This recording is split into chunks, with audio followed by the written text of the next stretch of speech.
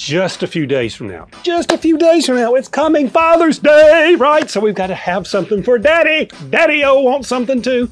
You know what we have here at Snoozy's? We have the little cocktail mixes here from Craft. Loving those. They mix it in there, set it for a few days. Mwah! Delicious books of all kinds, wonderful kinds, loving all these, hunting, fishing. Look at the freezable cups, put those in the freezer. Makes his beverage chilly and cold. Look at the openers here, loving the golf club on the bottom. Come on, y'all, good, cute stuff. It's not very expensive. It can be wrapped and it can be yours and it can be for daddy too.